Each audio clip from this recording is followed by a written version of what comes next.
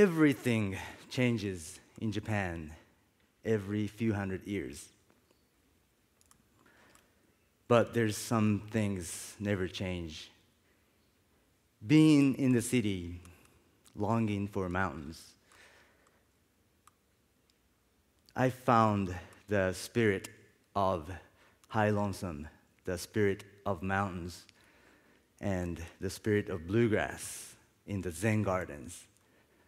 Here's a tune called What's Between Bluegrass and Zen Garden.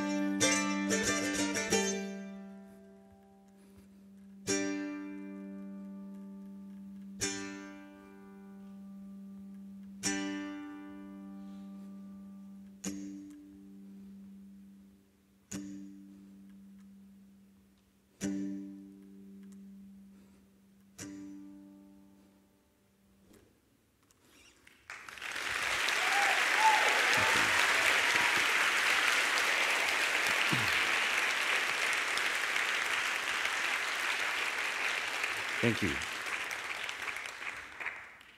I'm going to play one more tune here. This is not an anti war statement, this is just my own personal fear. I wrote this tune to try and deal with it. I hope it works for me and any of you who feel the same way. It's called "Sensō Kwai.